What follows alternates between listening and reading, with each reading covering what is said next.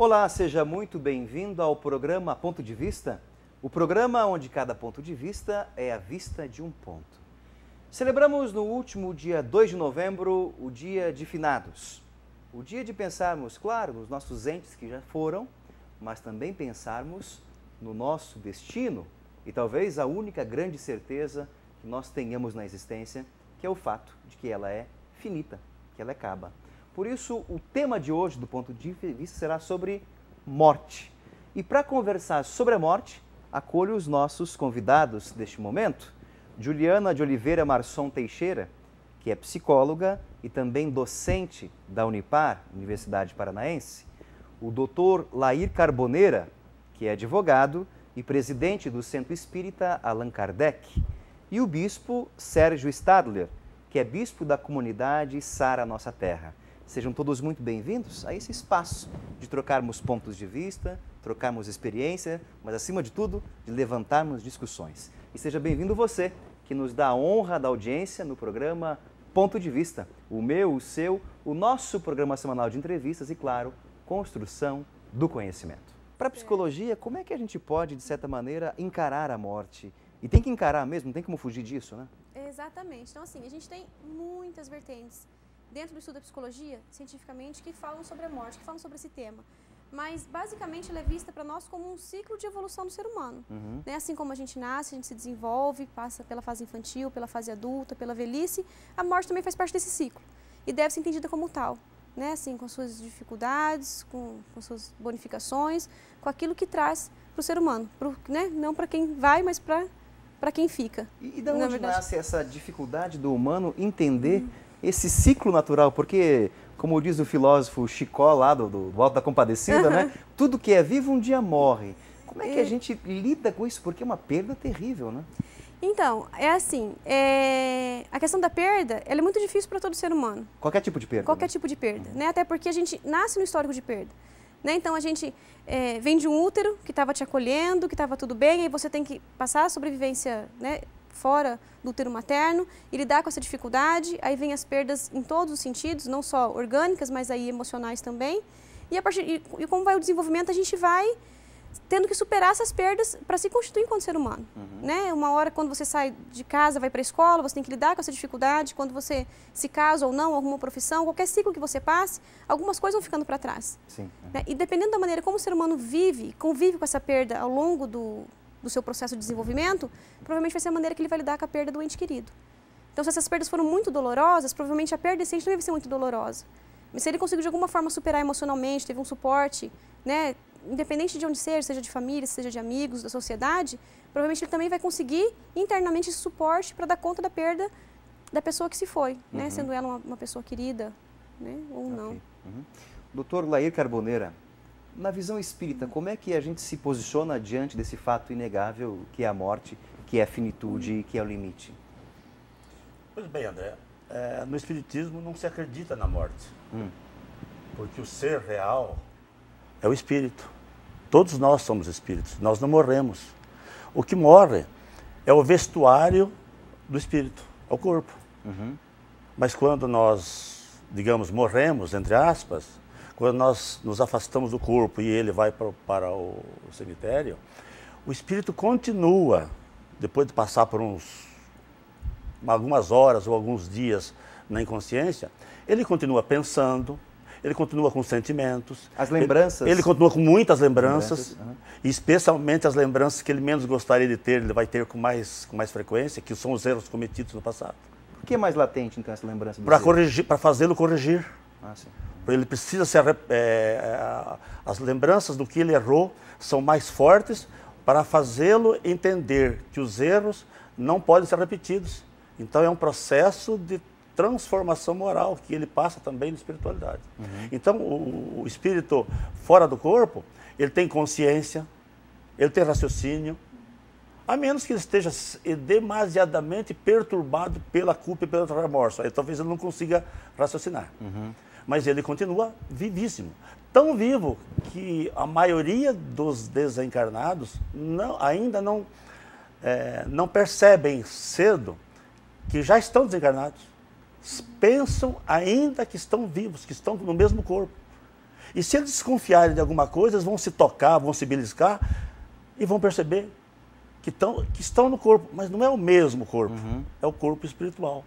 Por isso existe uma profunda ilusão com eles, acreditando que ainda estão vivos.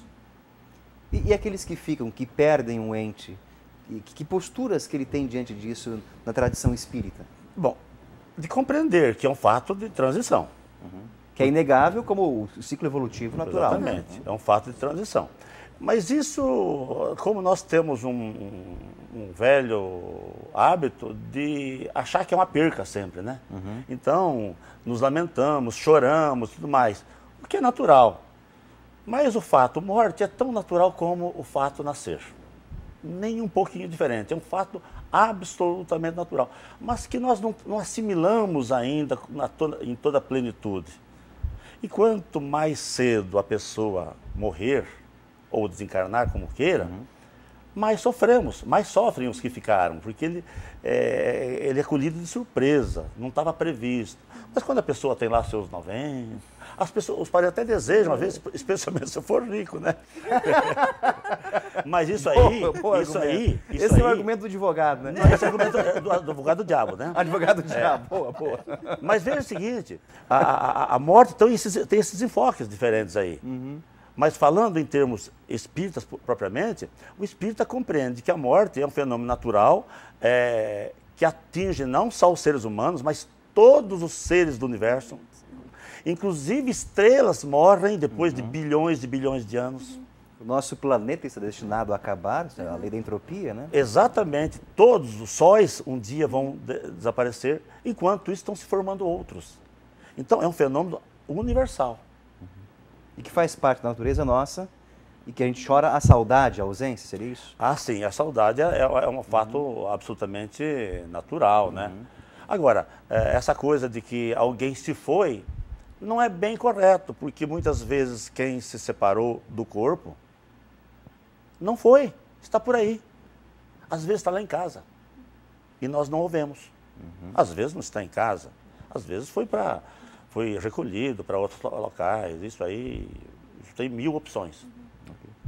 Bispo Sérgio, na visão cristã, como se encara a morte?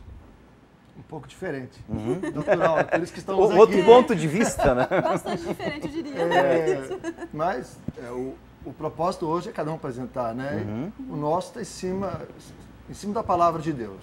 E não daquilo que a gente possa ter como julgamento pessoal, mas em cima da palavra de Deus, a gente crê que a morte, de fato, ela, ela é uma morte física. Nós somos seres espirituais. Nós todos somos um espírito. Temos um corpo e esse corpo ele é finito. Uhum. A eternidade nos espera. A eternidade é uma realidade, né? Pensar que a vida iniciou e acaba aqui, é para nós, uhum. é um grande engano. Né? E é um preço muito grande a se pagar. Se a pessoa crê que a vida dela é finita aqui na Terra, ela vai se surpreender, porque logo, logo em seguida, quando acabar o seu tempo terreno, ele vai dar início a uma outra, uma outra, outro nível de existência. Outra jornada. Né? É, só que para nós cristãos, pela luz da palavra de Deus, entra a eternidade. Uhum. E que a pessoa ela não precisaria, não necessita reencarnar. Pelo simples fato de que em Cristo Jesus, é a nossa fé cristã, que em Cristo Jesus nós já alcançamos a plenitude, não por méritos próprios. Uhum. Não porque nós merecemos ou alcançamos, mas por aquilo que Ele realizou, por aquilo que Ele nos proporcionou na cruz do Calvário.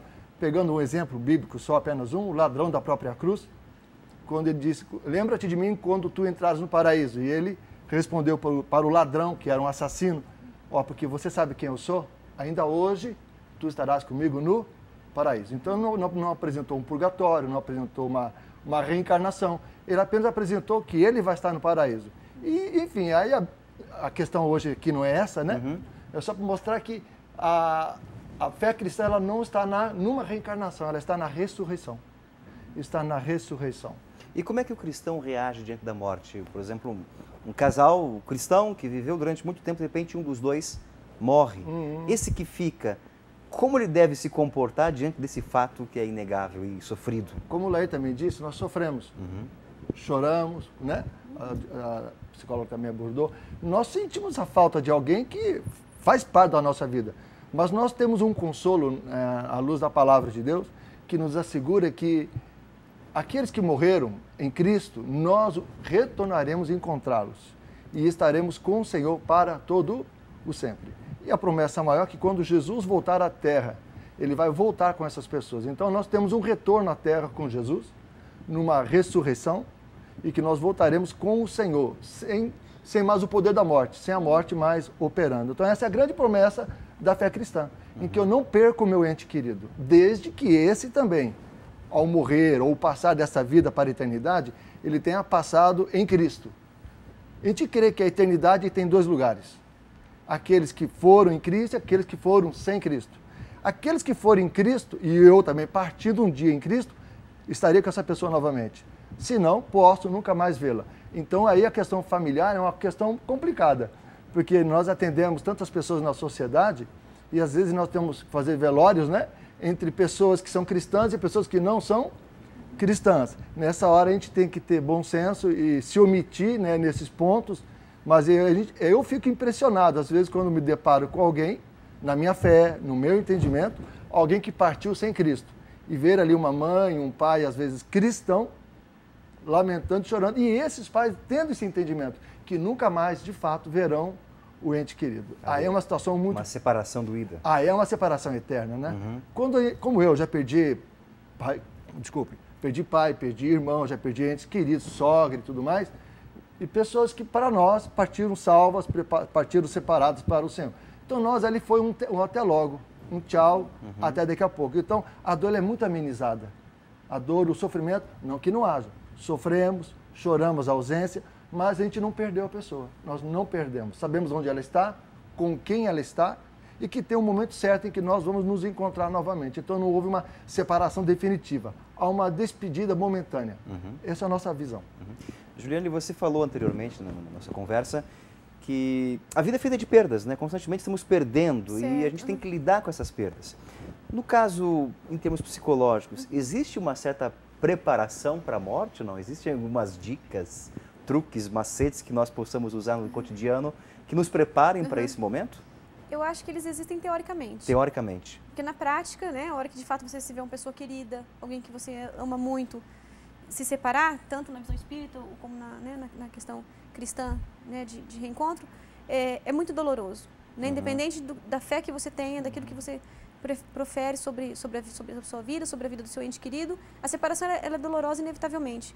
Né? Mesmo sabendo é, que isso vai acontecer. Né? Por exemplo, quando o Daí falou um pouco sobre isso, quando a pessoa é cometida da morte cedo, sofre um acidente, de repente vai embora breve, a gente leva um susto, esse choque e chora com isso também. Mas da mesma forma a gente chora e sofre quando a gente vê que um, um, um avô, um pai, um tio, uma pessoa mais velha está doente, está acamado e a gente teoricamente está preparado para a morte, uhum. né? Vamos citar como exemplo, um único exemplo também, o câncer, por exemplo. Né, que teoricamente diz assim, possivelmente o é. risco de morte é muito maior do que uma outra doença. Então, é, teoricamente a gente se prepara, tipo, uhum. né, a gente uhum. sabe que isso pode vir a acontecer, mas na hora que acontece de fato a dor, eu acho que é é tanto, tanto quanto qualquer outro, uhum. outro tipo de morte. Você toca então, assim... num ponto muito interessante que é justamente as ideias, as reflexões, uhum. mas o fato concreto, aquilo é... que me pega na pele. É a hora que é, se vai, né? Então, uhum. assim, a hora que você recebe a notícia, olha, ele morreu, mesmo se soubesse que estava doente, que isso iria acontecer em breve, sendo avisados pelos médicos, estando preparados emocionalmente, tendo um suporte espiritual, né? A gente sabe que isso vai acontecer, mas a hora que você recebe aquela notícia, uhum. né? a dor, é, é, acho que ela é tão, tão lastimável e tanta quanto com qualquer outra forma. Então, teoricamente, a gente tem né? Sim, algumas é. formas de se preparar, né? tanto emocionalmente quanto espiritualmente. Uhum. Mas acho que na hora que o fato acontece é muito difícil. Uhum. Né? Doutor Lair, na, na, Idade Média, na Igreja Católica, existiam alguns costumes que eram chamados alguns retiros, chamado exercício para boa morte. Uhum. Que era momentos de você pensar que você vai morrer, que esse é o normal do dia, etc. Né? Na tradição espírita, existe alguma coisa nesse sentido? Como nos prepararmos para esse momento de passagem? Existe, existe, existe e é muito frequente. Hum. E eu queria chamar a atenção no detalhe, André. Você falou, perguntou para o, o bispo qual é a visão cristã. É, eu devo dizer também que o Espiritismo é cristão. É, talvez seja um pouco difícil para aqueles que não conhecem a doutrina espírita, mas ela tem uma leitura um pouco diferente é, dos evangelhos e da Bíblia mas é uma leitura profundamente arraigada nos Evangelhos de Jesus.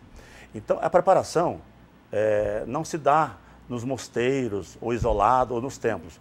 O, o, a preparação para a boa morte é uma preparação que se dá 24 horas por dia, na relação, na interação que temos com todas as pessoas, com o mais necessitado, com o doente, com o fraco, ou com, ou com o rico mesmo, que às vezes o rico é mais necessitado de, de, Efetivamente, né?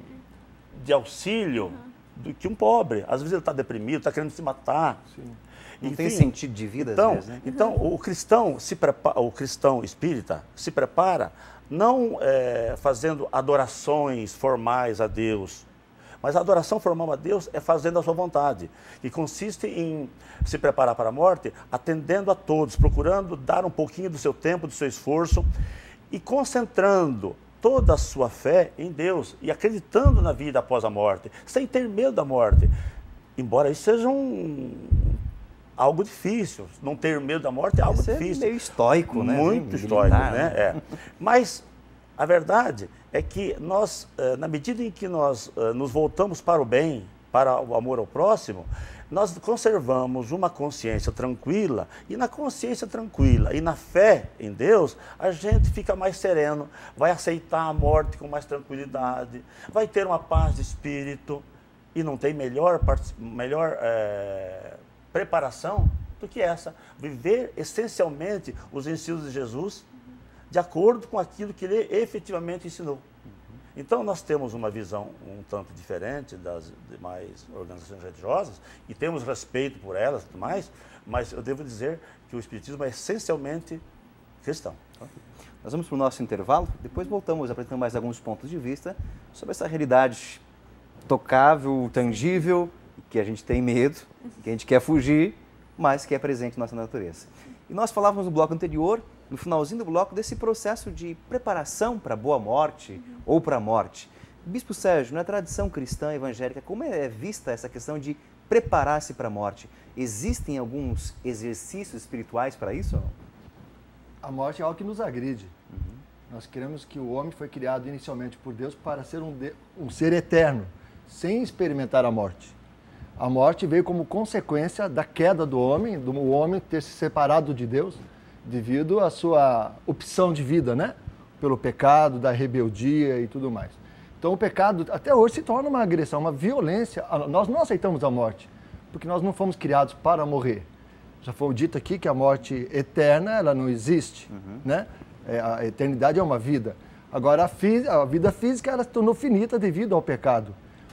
Para nós, não existe assim, um curso preparar para a morte, não. Dentro um pouco do que o próprio Laeta me colocou, nós queremos que a vida eterna depende da minha atitude diária, dia após dia.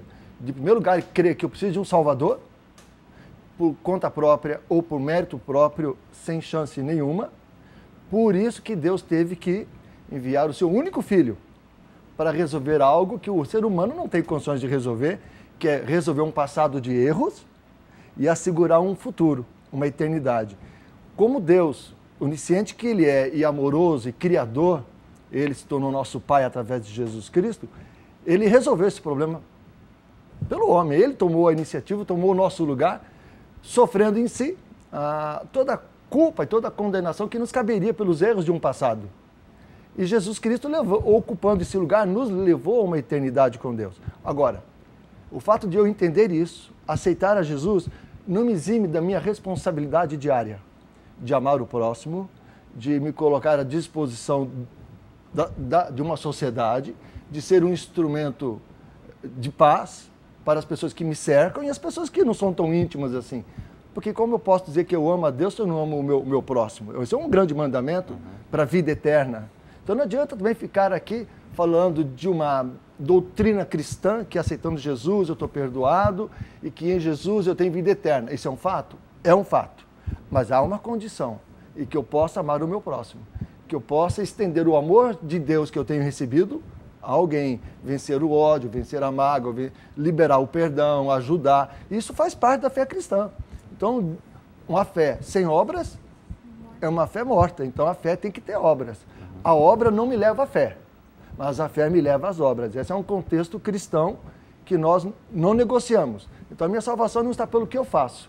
Eu sou salvo, então eu faço.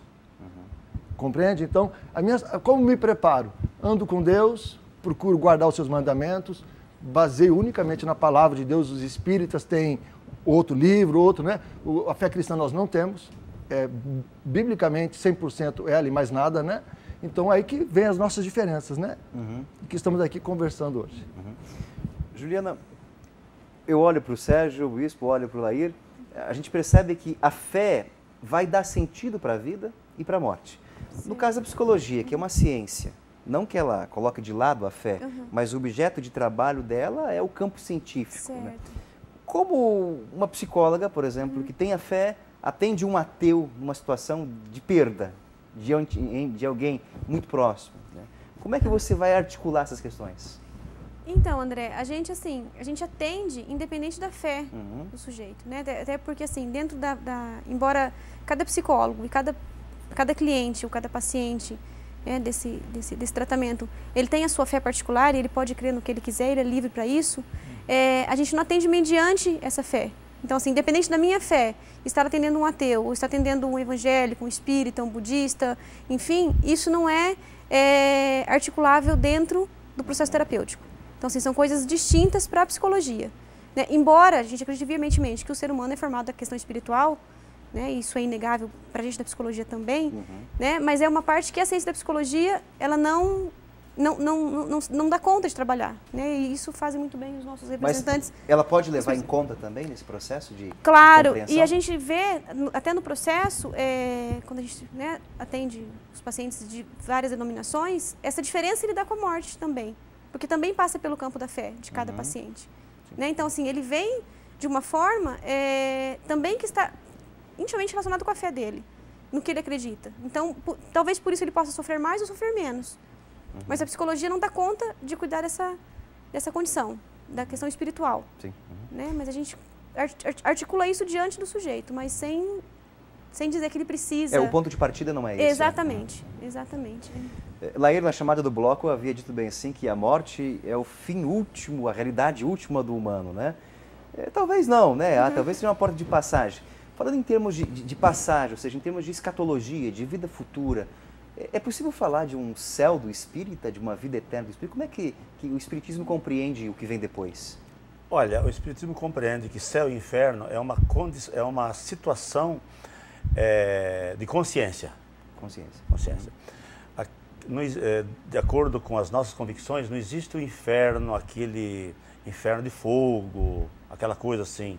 Ou o céu é, em que os que as almas vão ficar ao lado de Deus, contemplando na maior ociosidade possível. Tocando arpinho o tempo arpinho, todo. Né? E na maior ociosidade. Aquele céu, aquela fantasia não existe, porque para nós, para quem eh, conseguiu se elevar às culminâncias da elevação espiritual, são os que mais trabalham, são os que mais se dedicam.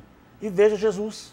Uhum. Ele que era uh, o espírito mais evoluído que se tem notícia, ele que veio e se submeteu ao maior sacrifício possível.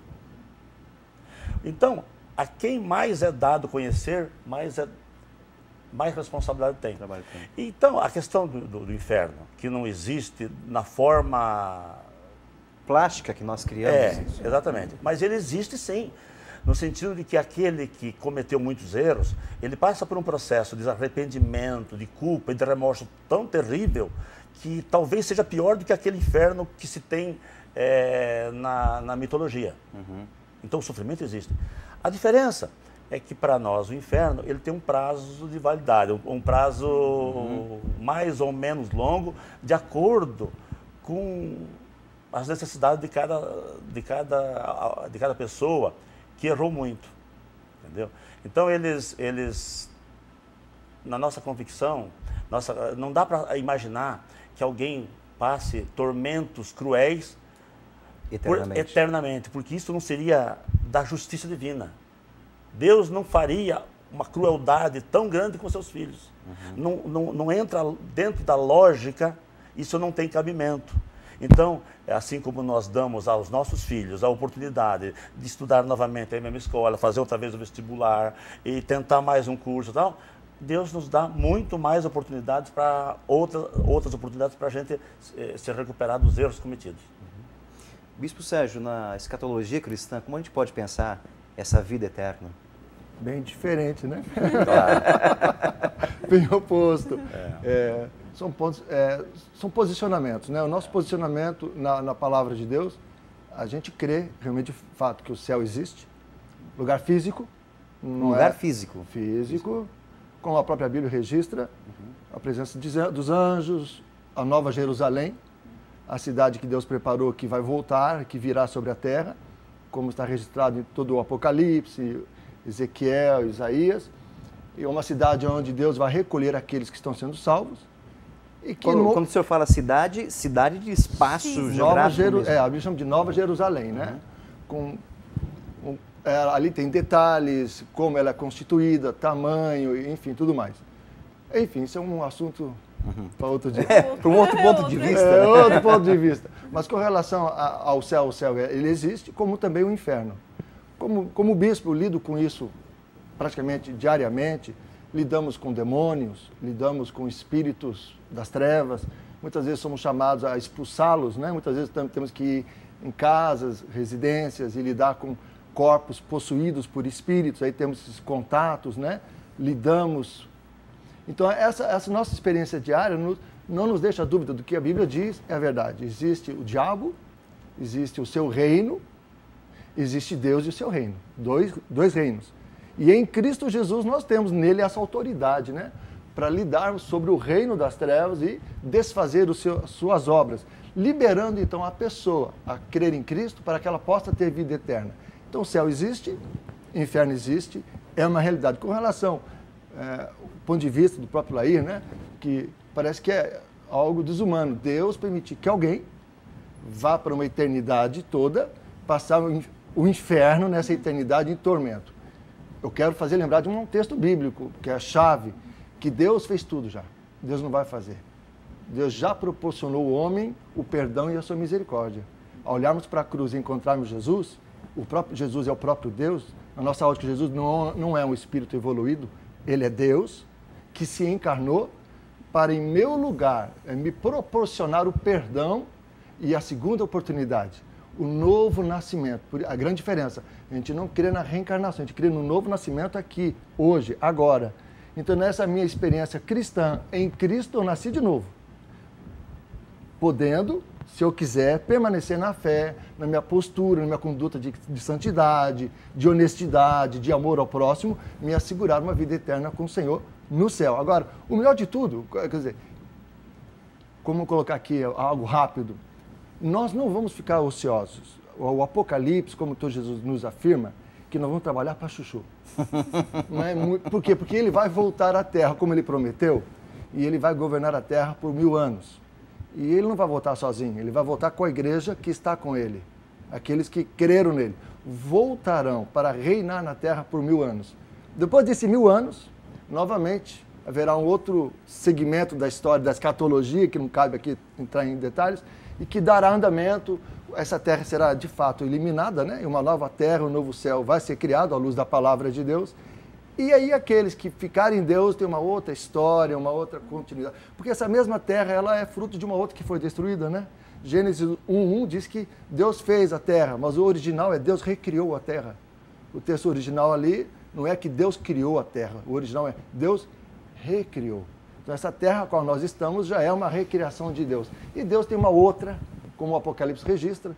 Então, temos muita coisa para fazer. Enquanto estamos nessa carne finita, e depois numa eternidade com Ele, muita coisa para fazer. É. é. o que nós queremos. Uhum. O que diferente, vocês, é, diferente, é, diferente. O que vocês falaram me fez lembrar um professor meu que afirmava isso também da questão é, dizia assim pra gente, olha, vocês pensam que depois aquele velho ditado, ah, depois do, de morrer o descanso, né? É. Isso é mentira, ele falava. É. A gente vai trabalhar muito, mesmo vai suar muito, porque ele dizia, contemplar Deus e buscar comunhão com Deus é trabalho Dá intenso, trabalho. porque Deus é atividade. Sim. Deus não é estaticidade, né, hum. parado, né? Deus é atividade pura. E acho que por isso que a gente tem essa ânsia de, de eternidade na gente. Né? A gente, por mais que a morte faça parte daquilo que é natural nosso, do ciclo evolutivo biológico, etc., mas a, a gente tem uma sede de, de infinito uhum. que está presente na gente e que às vezes a gente pode dizer, puxa, Nós isso morrer. é isso é talvez digital de Deus está presente em nós, né? Que a morte é simplesmente um passo de decisão. E, gente, e... Pois não? Não, assim, pensando nessa questão da espiritualidade, né, é uma forma que o ser humano também encontra de dar conta dessa perda, Uhum, né? Por esse perfeito. caminho também que a gente consegue se articular, né? Então, Uhum. assim, então eu vou pensar que tudo pode ainda acontecer. Então, assim, na verdade não é um fim. Sim. E eu não preciso lidar com isso exatamente como sendo um fim, Perfeito. independente da, da fé que a gente siga, né?